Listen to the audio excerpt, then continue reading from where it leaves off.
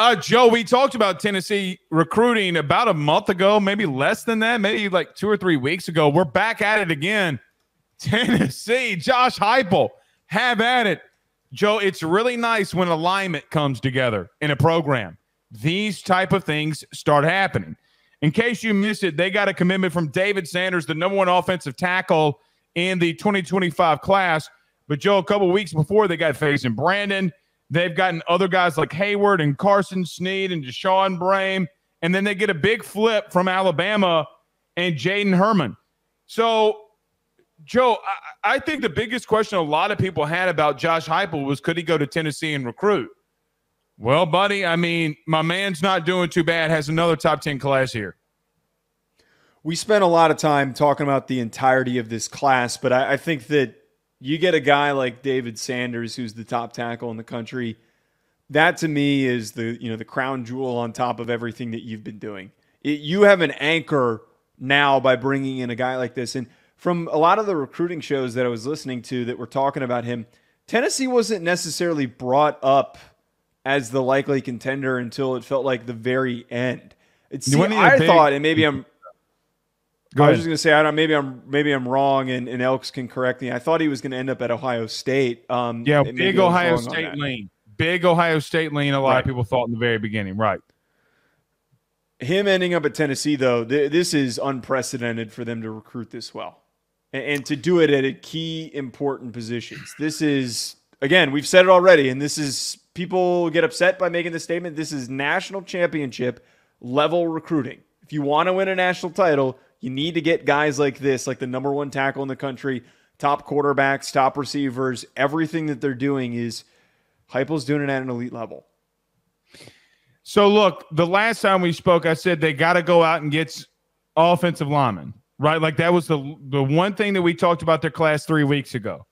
We mm-hmm. brought up this exact recruit, and that being uh, David Sanders. Well, they pull it off. But here's another thing, Joe what do we know that's really happening? And we're not making assumptions when we say this.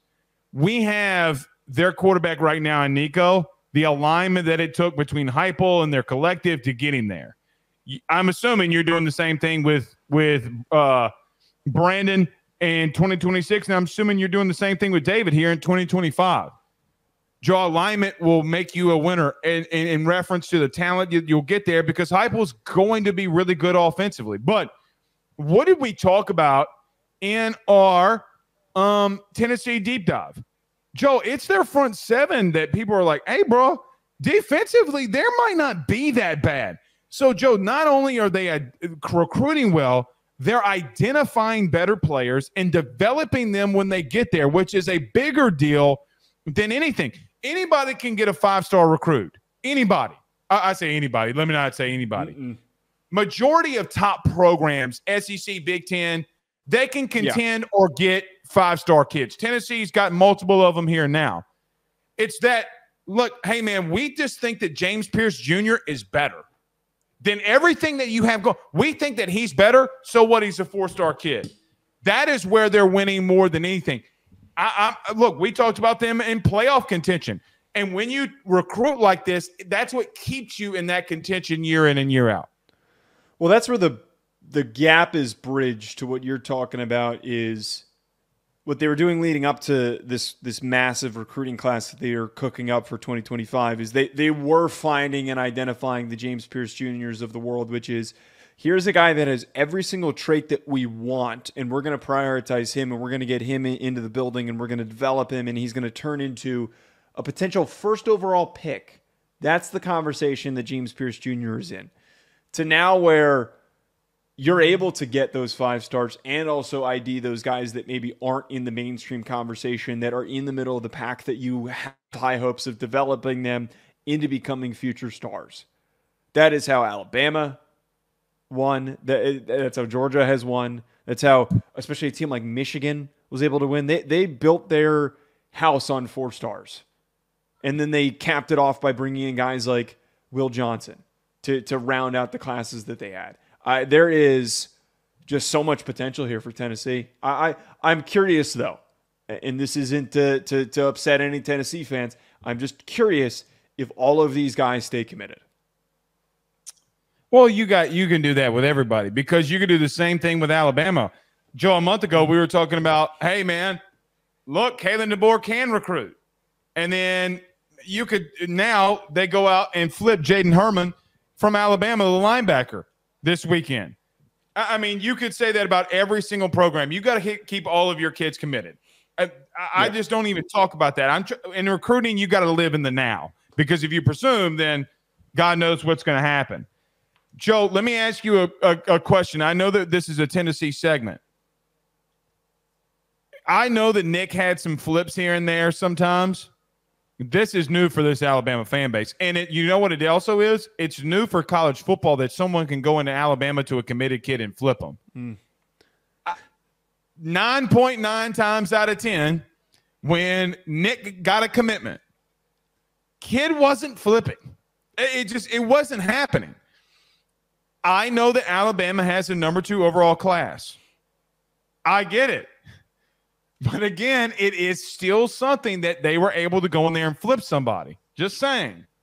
I'm not hitting the panic button, but I do agree with you that it is. Uh, oh hell no! It's a little they got concerning. A overall class. Yeah. I mean, you can't hit for, the panic button. For that reason, if they lost Keelan Russell, if they lost their quarterback, I think that we would be hitting the panic button. But you're right; it, this doesn't feel normal. Most other fan bases, except for maybe Georgia, and Georgia even deals with flips most other fan bases do deal with this. It is something that Alabama's not really expecting. Alabama was always the one that was coming along, stealing dudes and just flipping them last second to come play for them. I mean, as a Notre Dame fan, I'm still scorned by the Keon Keeley flip doomsday. that happened a couple years doomsday. ago. Yeah, that, that's what that's that was what one of the worst days ever. That's why I call him the, the uh, Darth Vader, man. I mean, because yeah. he would just come up behind you and pause and steal your recruits. look, here's the thing. You know what we haven't talked about all off season, and it's great because I, I, maybe we shouldn't have. You know what we haven't talked about hardly at all? What is the impact of say a uh, Sabanless college football on the field? I think we're seeing it right it now. I think that more recruiting parity. That's the that's the answer. I bingo more recruiting parity, and I think it there's an unknown. Joe, I mean, look, LSU just flipped Cade Phillips. You've had multiple flips. Okay, now Bama's done their fair share, but there there comes a part where it's starting to feel more even at times, right? Like it, it feels more even than what Saban was doing. We don't talk about his impact in leaving the sport and the trickle effect that it causes. Tennessee, LSU, Auburn, nobody was going in there ever and flipping anybody ever. And now you've had three in what a month? Like three kids that have been flipped. Auburn gets a pair, Tennessee. It, eh, that just never happens. And it's not missed upon me that it's happening. Just want to throw that out there. In reference to Tennessee, Joe, I don't ever really remember Josh Heupel being very big with tight ends. Am I wrong here? Offensively. I know they've had some success, but not like trying to get tight ends premier action. Am I wrong? No, no, not that I can think of. Jason Brame and then Carson Sneed. You know what? You know what Heupel's doing in front of our eyes through a recruiting lens. He's innovating. Uh, in in what way? In, in what do you what do you mean by that? I think this Brame kid and this Sneed kid. Uh, could they be in the line of scrimmage guys? Yes. I went and watched the Sneed Kids film. This dude can catch. This dude can like run for a big guy, right? And I'm like, hey, bro, like I, I, I have no. You're gonna get. You're gonna give him this dude. Like you're gonna give Heupel this guy to play with. That that's where I started coming with, and I'm like, man, I don't ever really remember him having a big time tight end. But if he's gonna get guys that can catch and run like that, then just more weapons, man. More weapons for him. Well, I think this year we're going to kind of get to see more premier tight end usage because Ethan Davis is going to be in his second year. Uh, he was pretty highly sought after, very good athlete. I think that could kind of be that early exposure to what you're talking about if he does start to implement more of a focus on getting those tight ends involved. This video is sponsored by the online fitness training camp presented by Chris Gates Fitness. When I first started talking about Chris about partnering with our show. Not only was I excited to have a fitness sponsor for our pod, but more importantly, when I found out about how he can help people achieve their goals, I was even more bought in because when the football season starts, it is so tough to stay on top of things and also to be able to enjoy yourself on Saturdays when it's game day. With Chris Gates Fitness's online training camp, you're going to be able to effectively stay focused, consistent, burn fat, build muscle, and do it with a like minded community of individuals working towards the same thing. On top of this, you're going to be able to get direct coaching from Chris and the ability to ask him questions with an access to a live Q&A where you can get direct personalized support from Chris himself. Don't wait any longer. If you're trying to get in shape during this fall and you want to be able to do it with the right support system, head on over to chrisgatesfitness.com slash training camp or click the link in the description and you need to do it today because you can get the first month. Personal training is expensive, folks. The first month for only $10 when you use that code Ruffino Joe. Don't wait any longer head on over there. BetOnline remains your top spot for all of your live betting action and contests. NFL, college football, UFC, NHL are all in full swing.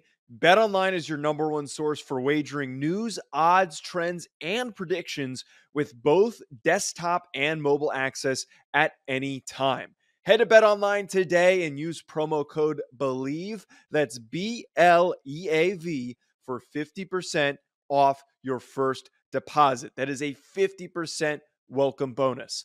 Bet online where the game starts.